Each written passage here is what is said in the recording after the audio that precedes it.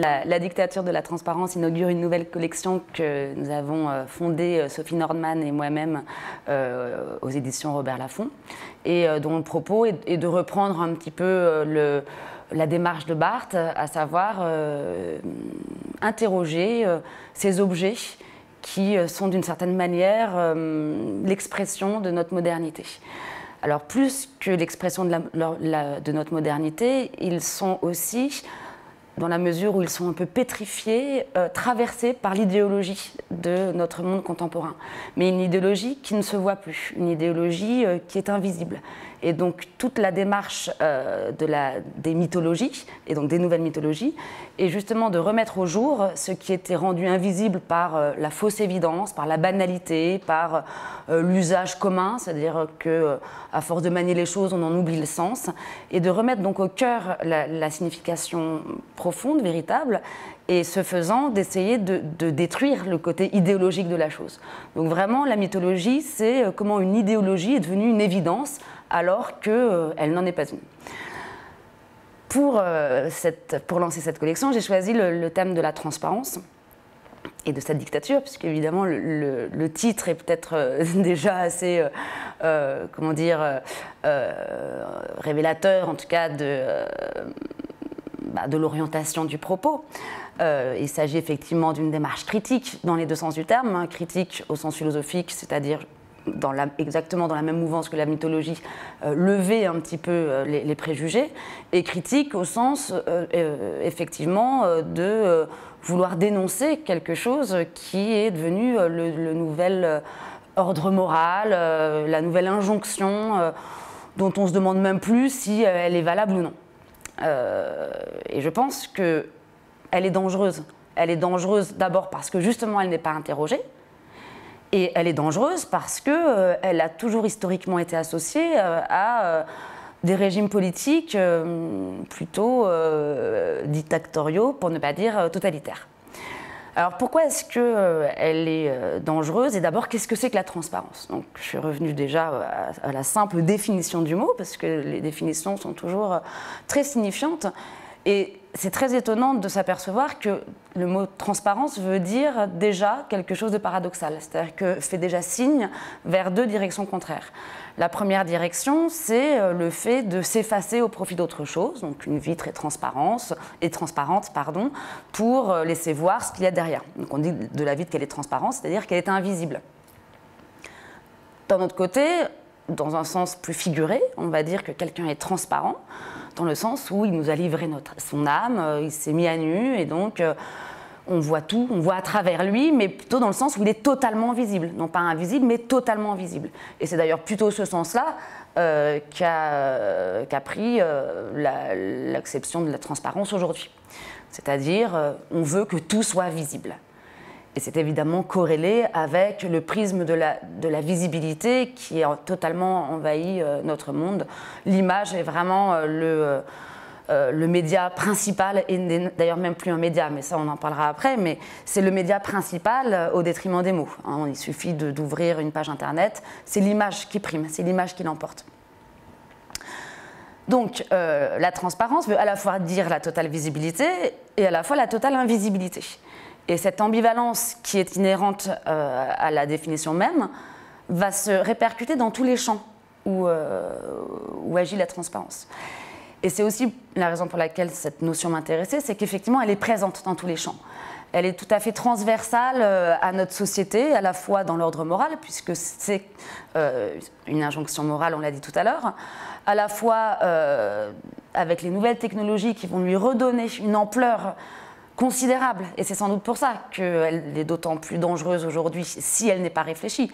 C'est que euh, avec euh, la toile, l'internet, les réseaux sociaux, on a l'impression, en tout cas, euh, que tout peut être vu, tout peut être su, et que la transparence est glorifiée, là, dans le sens d'une totale visibilité. Évidemment, cette totale visibilité, en réalité, est une nouvelle forme d'invisibilité.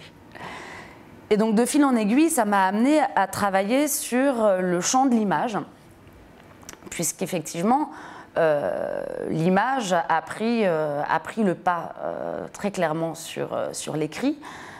En termes de lisibilité de l'événement, de lisibilité du fait social, de lisibilité, c'est-à-dire que avec le temps de plus en plus rapide que, dans lequel évoluent nos vies, c'est vrai que voir une image, on, a immédiatement euh, on se fait immédiatement une idée de la chose et que lire un texte, c'est plus long. Donc on, prend moins le temps de lire le texte, on est plus confronté à des images, à un flux d'images permanent, dont on a l'impression, euh, de manière naïve mais en même temps naturelle, que euh, l'image porte avec elle sa propre transparence. À partir du moment où c'est vu, ben, c'est le réel. Si on le voit, c'est que c'est vrai. Et il y a comme ça une sorte de connexion entre le voir et le vrai. Connexion qui elle-même euh, s'origine dans l'histoire de la philosophie, puisque le voir, le visible, est la métaphore privilégiée euh, de la vérité et de toutes les philosophies rationnelles, y compris dans le langage courant, puisque lorsqu'on dit euh, je vois, ah oui, c'est clair, c'est-à-dire que toutes les métaphores, le champ lexical de la vision se rapportent à la connaissance à la connaissance claire et distincte pour euh, emprunter euh, la, terminologie cartésienne, mais on retrouvera euh, cette même, ces mêmes métaphores chez Platon, chez Kant, la philosophie des Lumières, bien sûr, les Lumières. Donc on est vraiment dans la visibilité, la clarté, l'idée que si c'est clair, si on voit, on sait. Avec en même temps, dès l'origine de la philosophie chez Platon par exemple, euh, l'idée que la lumière, c'est la métaphore privilégiée de la connaissance, mais il y a quand même la caverne, avec euh, des écrans, des images, des images qui sont fausses. C'est-à-dire que l'image est à la fois le véhicule de l'illusion, et à la fois le, l'image en tant qu'elle est clarté, lumineuse, est à la fois la métaphore du vrai. Donc là aussi, on a la même ambivalence que celle qui est à propos de la transparence. Et donc, euh, donc aujourd'hui, on se dit, et encore une fois très naturellement, et c'est en ça que les préjugés qui sont le, premier rapport au monde euh, qu'on partage tous, c'est-à-dire que le préjugé, c'est le fait de juger quelque chose sans y avoir réfléchi, mais c'est notre attitude première. Enfin, je dénonce personne en disant ça, enfin, c'est la mienne aussi. Euh, l'image s'associe avec sa propre lisibilité. On pense que l'image est claire. Alors qu'évidemment, l'image euh, est un point de vue, l'image est une construction, euh, l'image euh, a un hors-champ qui souvent permettrait de la, lire, de la comprendre. L'image doit être contextualisée, enfin, il n'y a rien de plus obscur qu'une image. C'est-à-dire que ce qui est le plus visible est en réalité ce qui est le plus invisible. Et donc, la transparence en termes, si, on, on l'exporte, cette notion dans le champ de, tout ce qui est de l'ordre du visible et donc de l'image, euh, joue complètement dans cette ambivalence. Et en réalité, ce qu'elle révèle, si on l'interroge, c'est que ce monde où l'image est, omniprésente, et dont on pense qu'effectivement on va vers plus de transparence parce qu'on voit les gens vivre dans leur intimité, on voit euh, euh, les photos de ses vacances, on voit les photos de ses enfants, on voit, enfin, on voit plein de choses, on voit de plus en plus de choses. Euh, ce qui va interroger euh, un autre domaine qui est le deuxième autre grand autre domaine que, questionne la transparence, à savoir le, domaine du privé et le domaine du public, la question des espaces. Euh, cette transparence et cette, plénitude de visibilité dont on pense justement qu'elle amène de la transparence, est une nouvelle forme de, grande illusion, de grande caverne, d'autant plus pernicieuse qu'on pense que justement elle est lumineuse. En fait, c'est ça la mythologie c'est à la limite, on se dirait, bon, ben voilà, c'est des images, ça ne sont que des images, mais le réel n'est pas là, ça irait. Mais là, on se dit, ce sont des images, donc c'est le réel, donc c'est le vrai. Et voilà, c'est cette, cette, façon dont l'image est devenue un masque euh, du fait d'être associé à l'idée de la transparence. Et donc, euh, voilà, je, mets juste en garde la lecture euh, des images euh, pour essayer, je ne donne pas de mode d'emploi pour avoir une forme de lecture critique, mais néanmoins, juste de s'apercevoir qu'il ne faut pas se fier aux, apparences, ça me semble utile aujourd'hui pour, voilà, pour s'orienter, comme dirait Kant, dans la pensée, mais là, c'est plus dans la pensée, c'est vraiment dans, dans le champ de, de la visibilité qui est qui est omniprésent et qui est considérable à notre époque. Le deuxième grand aspect euh, de ce livre, c'est l'aspect plus politique, politique au sens euh, large du terme, c'est-à-dire celui justement qui définit l'espace public euh, à l'opposé de l'espace privé. La transparence dans son mot d'ordre qu'on peut lire dans les journaux ou qui est complètement récupéré par la classe politique, c'est euh, il faut être transparent, donc on doit vous montrer nos fiches de paye, euh, nos biens, notre patrimoine, euh, notre chambre à coucher, nos maîtresses, etc., etc. Bon, ça en gros c'est ce qui émerge de, de, la demande de transparence.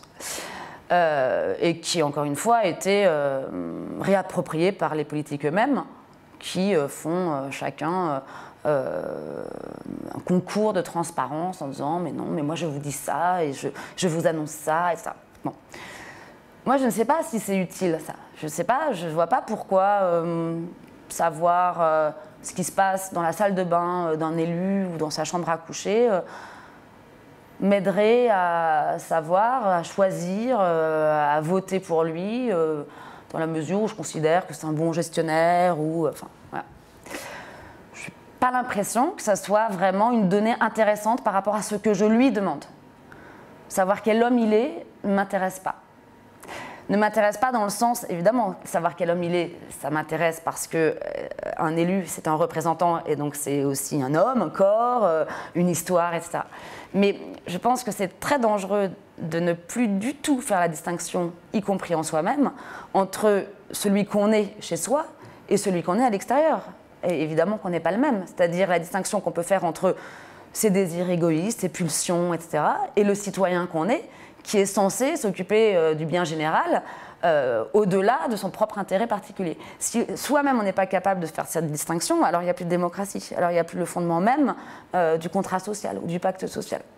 Donc demander aux élus de connaître leur vie privée.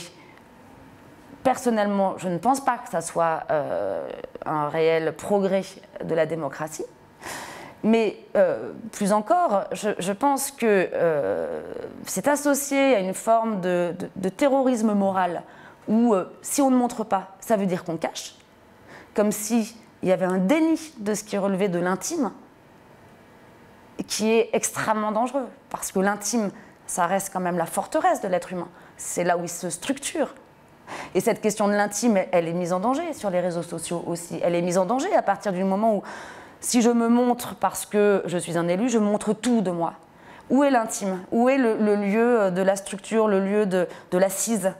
Et euh, je pense que, enfin, y compris dans, un, dans, une relation duelle, la personne avec qui on vit ou ses amis, on n'a pas envie de tout savoir d'eux. Alors on a envie, mais il faut absolument qui résiste à ça, parce qu'une fois qu'on le sait, il y a une forme de destruction de la relation. Bon, euh, donc ça c'est le plan moral. Je, pense que ça n'est pas euh, une bonne chose. Et euh, pour répondre par anticipation aux objections qui pourraient être faites, oui, mais alors que fait-on de DSK Que fait-on? Est-ce que ça n'est pas bien qu'on sache qu'il a pu violer une, enfin, c'est pas avéré, je crois, mais bon, une, femme de chambre dans un hôtel ou enfin d'autres faits politiques de cet ordre-là il y a quelque chose qui s'appelle la justice et qui s'en occupe.